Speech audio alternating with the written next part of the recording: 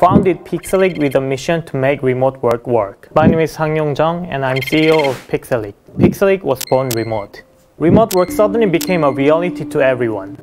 It's estimated that 16 million US knowledge workers started working remotely due to COVID-19. Almost half of them reported a drop in productivity and one of the biggest reasons is communication difficulties. Because communication is happening through too many different channels. To this problem, by providing a unified inbox for all notifications for tools you use. This is Hyperinbox.